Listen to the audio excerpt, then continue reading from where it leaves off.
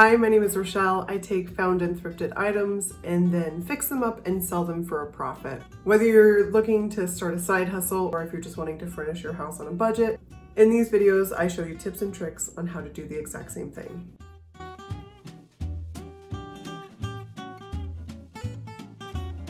So this week I have a hot mess on my hands. I got two pieces from Facebook Marketplace a few weeks back. I had to take the first piece and then pick up the next one a few days later. In the meantime, this piece just sat in the rain with a sheet over the top. So when I picked it up, the top was already severely water damaged. I should have said something, I know, but on this particular day, I was just not in the mood. So here I stand with a water damaged piece, but I can save it, I think. So let's dive right in.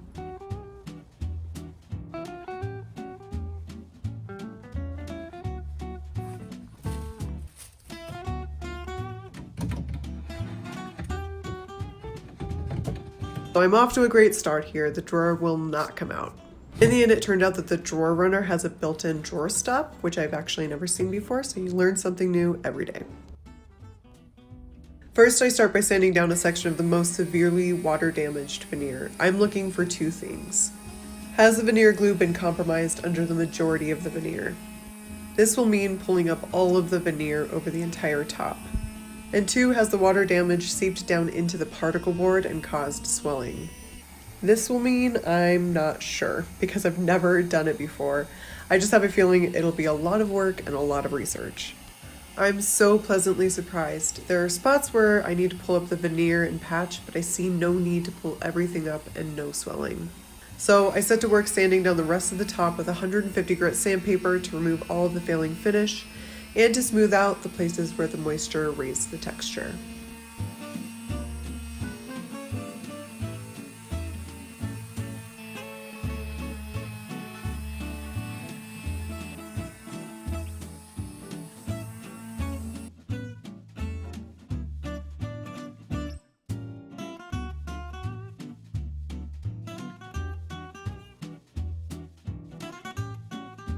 When it comes to pulling a veneer with failing glue, I'm not gentle. I want to find these spots now and not later after I've applied my nice clean finish. So I poke and scrape and peel away any veneer that's not holding on for dear life.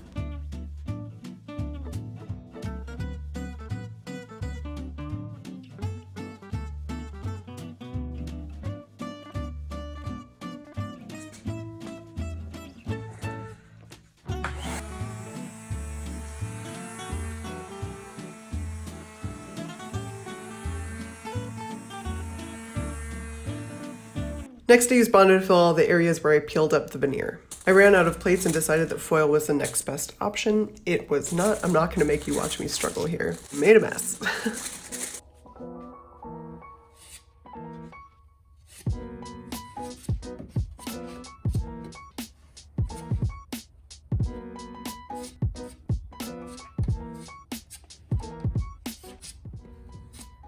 I then let that dry for several hours. I can already tell that I'm going to need to do a second pass on some areas with rough coverage. Uh, that is after I get the first layer sanded down.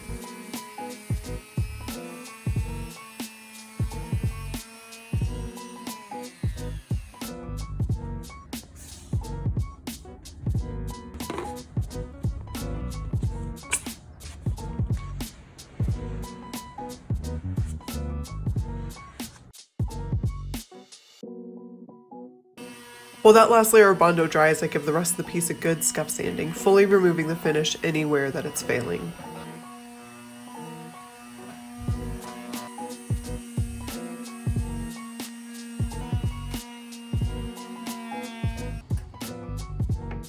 This hardware is not doing anything for this piece, so I have some new modern hardware in order that I think will add a lot of interest.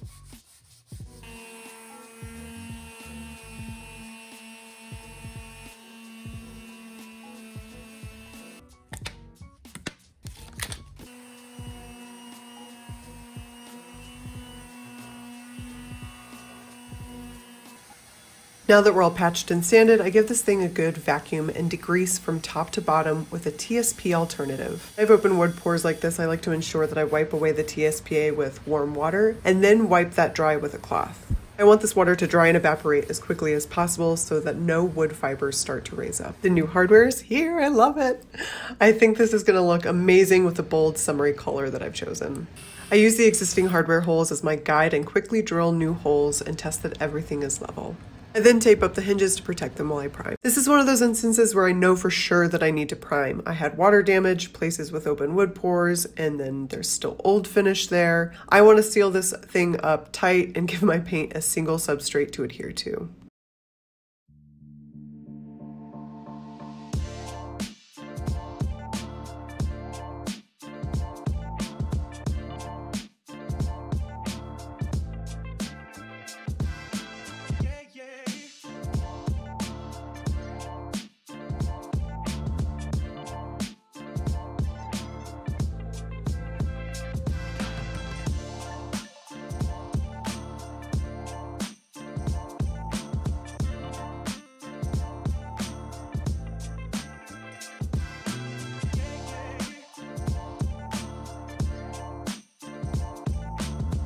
Today I'm using Pressed Fern by Fusion Mineral Paint. I can't wait to see it with this new hardware. I'm using my HVLP gravity fed spray gun to apply my paint. I know it can seem a little intimidating.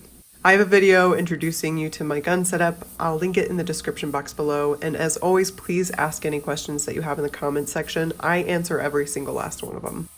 I'll admit this first coat was a little jarring, but I've seen other people use this color and it deepens to a gorgeous emerald with an additional coat and as it dries. You just gotta trust the process, I guess.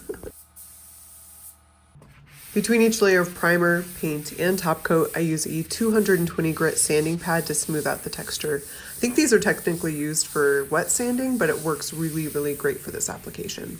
Just make sure to wipe away your sanding dust afterwards.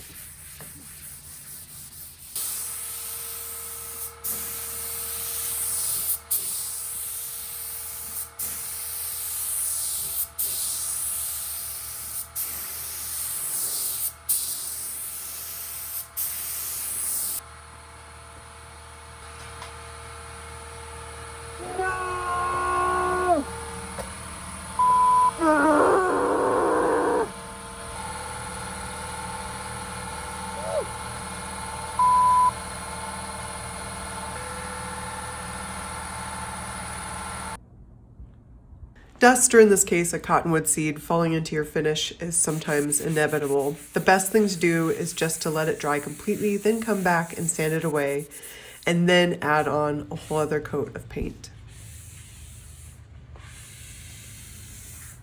I ended up doing three thin coats of paint to get the coverage I wanted with this paint. I then came back with polyurethane and a satin finish to top coat.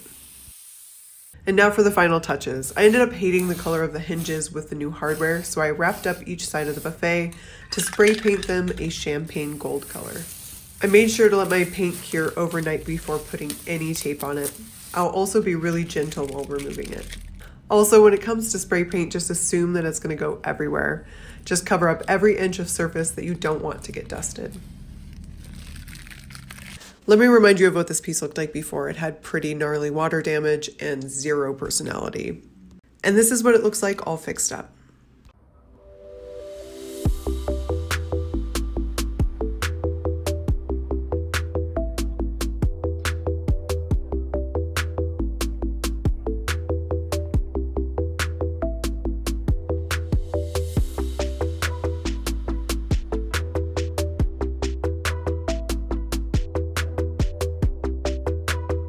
Thank you guys so much for following along with me on this project. I got this piece for $75. The hardware was $10.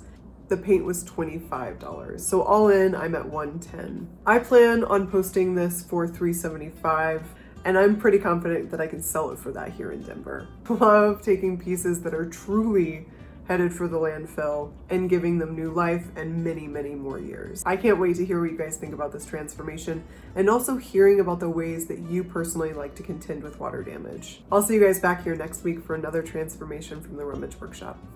Bye!